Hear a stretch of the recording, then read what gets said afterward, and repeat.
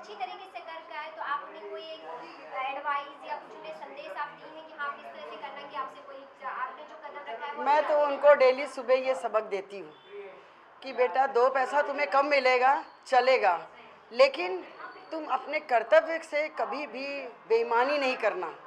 कोई भी पेशेंट है, कोई गरीब मजबूर आता है तो तुम उसको उस तरह से हेल्प करो।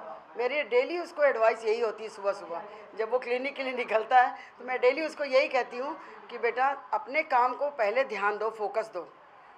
अपने इलाज को ट्रीटमेंट को फ़र्स्ट प्रेफरेंस दो और तुम्हें दो पैसा कम मिलेगा, चलेगा। लेकिन अभी पैसे की तरफ़ नहीं देखना है। तुम्हारा जो काम हो, उसमें वो खुश होके जाए, यही तुम्हारी उपलब्धि है। अपनी खुशी को किस तरह से वर्ड्स में बयान करना चाहेंगे? कितनी खुशी है की कामयाबी मैडम खुशी तो बहुत है, क्योंकि हर माँ बाप का यही लक्ष्य होता है कि उसका, उसकी संतति आगे बढ़े।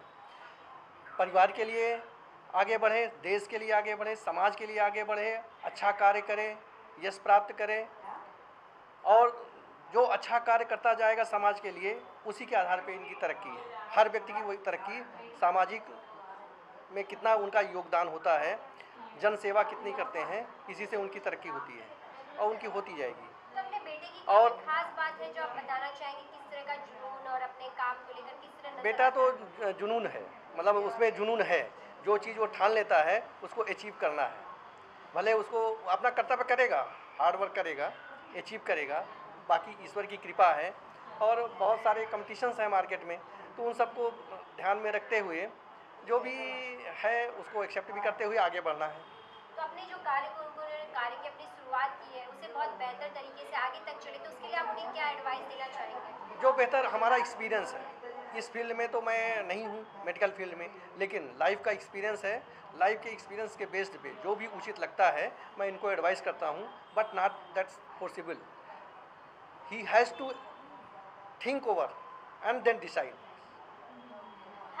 हर चाहते हैं। मेरा बेटा डॉक्टर बने इंजीनियर बने तो डॉक्टर वो अपने से बने या फिर आप लोगों की, आप लोग चाहते थे कि मेरा बेटा डॉक्टर ही बने? नहीं, खुद से बने। मैं तो सिविल इंजीनियर हूँ और मैं तो चाहता था कि बेटा मेरा सिविल इंजीनियर बने। सो दैट कि मैं अपने एक्सपीरियंस उसको शेयर करके और आगे बढ़ा सकूँ। लेकिन बेटे की चॉइस डॉक्टर बनने की थी तो हमने उसमें ऑब्स्ट्रक्शन कहीं नहीं रुकावट कहीं नहीं पैदा किया। और जो हमारा कर्तव्य था आगे बढ़ाने के लिए, हमने हमने पूरा सहयोग दिया। और उस फ़ील्ड में वो आगे अपने बढ़ते गए और हमारा जो हमारा जो योगदान होना चाहिए था, हर स्टेज पे हम जो कर सकते थे, हमने करने की कोशिश की। बाकी ईश्वर की कृपा है और जो यहाँ तक पहुँचाया और आगे भी लेके जाएँगे।